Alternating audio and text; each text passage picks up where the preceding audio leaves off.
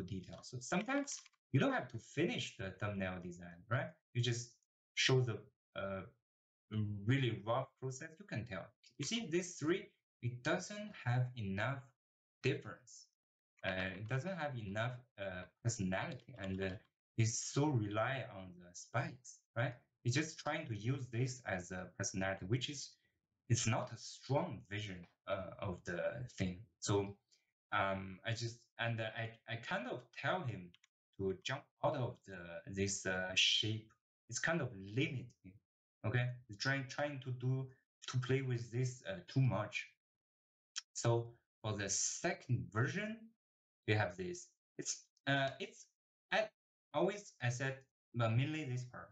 Okay, it's the I would call it 1.5 version. Okay, because it's only three. Um, so he used some okay he said he said okay you, you you told me the silhouette is too similar so i'm gonna try to use some insects which is really fun really interesting. But imagine if you're trying to i always say this imagine you're trying to design a village with 10 buildings.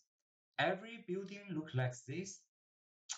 Um, maybe not right? So this is just I, I think this is really cool but you don't just use it too much and uh, sometimes it's too common. You see a lot of artists already doing this right? It's not like uh, unique enough. So uh, i tell him try something else.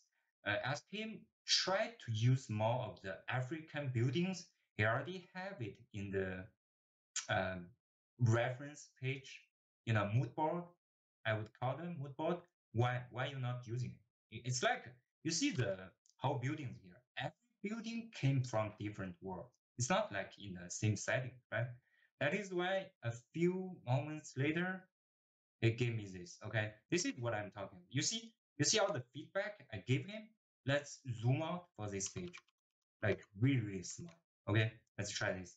You can tell even it's already really, really small. It's really like the size of your thumbnails, right? But you can tell it's 100% different. It's like a really, really each building have their personality. Uh, the shape, the silhouette, it's, so different. Okay, this is what I'm looking for. And also, uh, you don't see too much uh, buildings look like a pottery, right? It's look like very roundish and it's really, really fun and interesting. Uh, so I I think this is really good direction. I just asked him to to just uh, go into some kind of details uh, to to just uh, define all the textures and every um, text patterns. Already have it in the African facial paintings I just showed you guys. And also you can just tell the material difference uh, happening here. It's like you have wood area, you have some, you know, some this kind of uh, very poor looking roof some shell, and uh, these are um, so it's it's not about details, right? If you if if you